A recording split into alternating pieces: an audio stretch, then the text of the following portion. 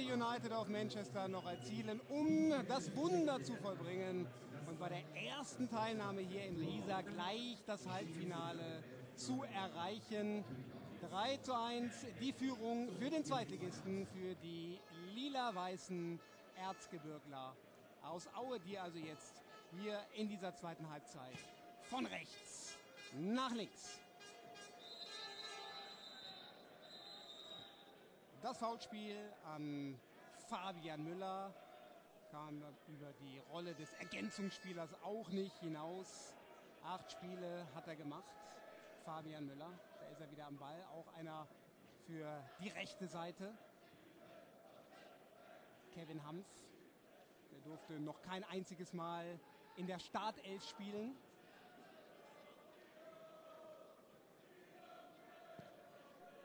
Das Problem beim FC Erzgebirge Aue hatte Gerd Schädlich eigentlich schon lange erkannt. Die Leistungsträger über viele, viele Jahre, ein Emmerich, auch ein Kurz, sind so ein bisschen in die Jahre gekommen. Die entscheidenden Spieler bei den Veilchen meistens schon an die 30 oder auch drüber. Und man hat es vielleicht verpasst, den großen Umbruch ein bisschen früher zu vollziehen. Jetzt in der laufenden Saison ist das ohnehin nicht mehr möglich. Aber schon oft hat man sich ja aus kritischen Situationen dann noch befreien können. Und traditionell spielt ja eigentlich Aue eine richtig gute Rückrunde. Und so eine brauchen sie ganz sicher auch in dieser Saison.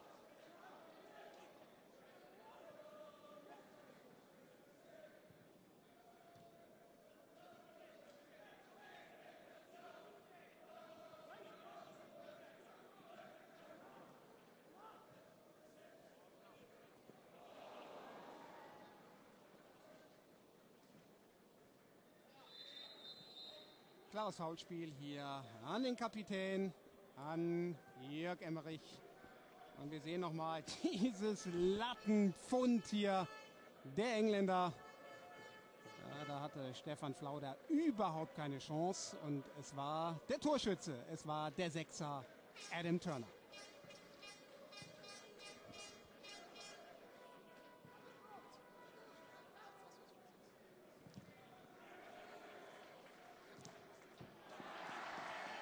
Jetzt wohl endgültig, alles klar. Das 4 zu 1 für den FC Erzgebirge Aue. Srivic hat es gemacht. Überhaupt keine Fragen mehr offen. Wer dieses Spiel hier gewinnt und der FC Erzgebirge Aue folgt also den sehr souveränen Cottbussern ins Halbfinale.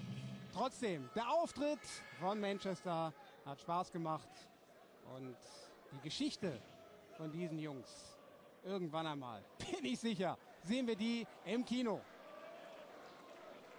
Ja, ich glaube, hier gab es sogar noch einen Körperkontakt des äh, Torhüters Phil Presley am Bein des Auers.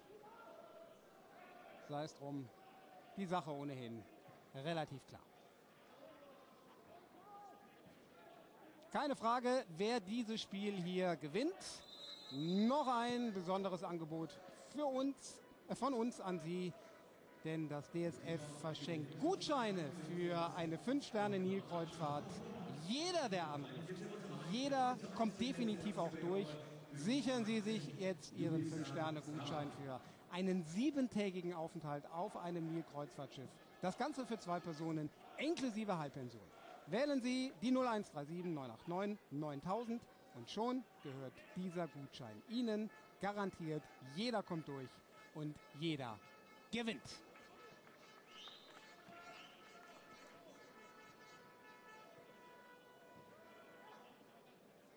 Normalerweise müsste jetzt Aue einen Gang zurückschalten. Die Sache ist klar. Ein bisschen Kräfte bündeln, sammeln für das jetzt schon sichere Halbfinale. Aber wer wartet dann? auf Aue. Also Duisburg ist durch und wer folgt den Meiderichern? Ist es Lok Leipzig oder ist es doch noch der FC Karl Zeiss Jena?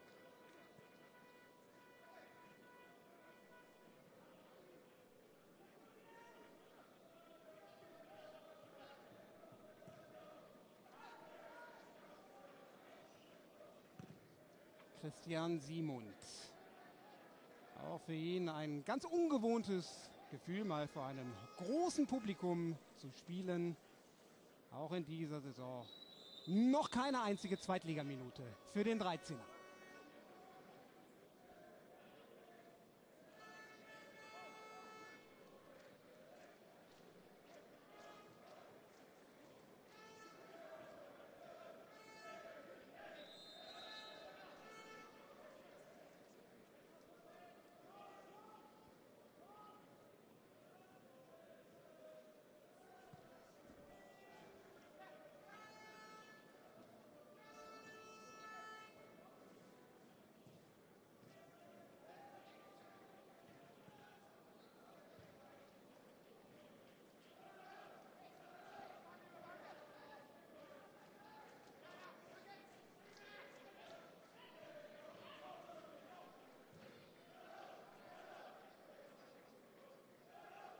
Es ist genau so, wie wir es vermutet haben.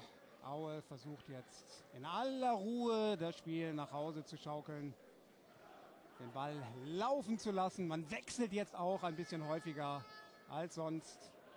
Also alle Konzentration, alle Kraft dann fürs Halbfinale. Womöglich dann der Gegner, der MSV Duisburg. Es sei denn, Lok Leipzig landet ein Kantersieg dann beim letzten Gruppenspiel gegen Jena.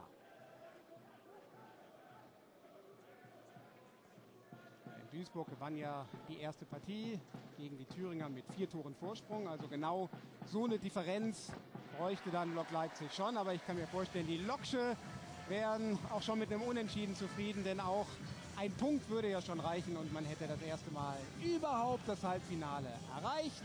Jetzt hier der fünfte Streich und Fabian Müller mit seinem Erfolgserlebnis.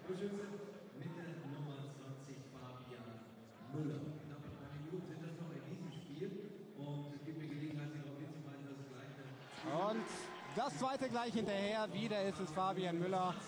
Also der FC United of Manchester, der lebt ja von vielen, vielen kleinen Sponsoren. Sie werden von diversen Unternehmen unterstützt. Und sollten sie das nächste Jahr wieder hierhin anreisen, vielleicht findet sich ja dann auch einer, der ihnen Hallenschuhe spendiert. Denn äh, das ist schon wahrlich nicht einfach, mit Noppenschuhen hier in der Halle anzutreten. Und irgendwann einmal tut es auch richtig weh.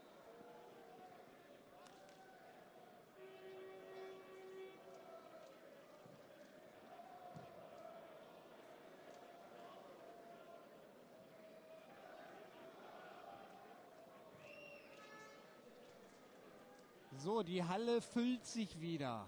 Die frisch gestärkten Fans von Lok Leipzig sind von ihren Erfrischungen zurückgekommen, stimmen sich schon mal ein, haben womöglich dann doch dieses Negativerlebnis verdaut, als man ja quasi in den letzten Sekunden doch noch den Ausgleich hinnehmen musste gegen den MSV Duisburg.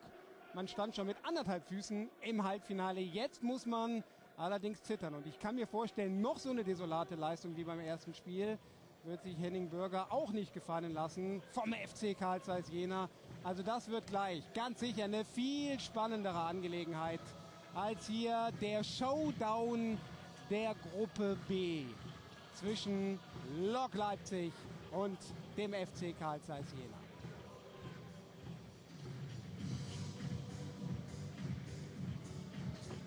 Hier ist äh, nur noch eine Frage der Höhe. Wieder ist es Stribic für ihn schon das dritte Turniertor. Das zweite in dieser Partie.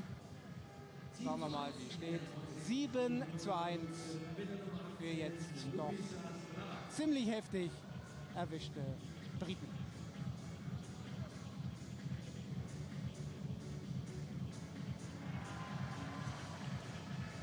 Und gleich das achte hinterher.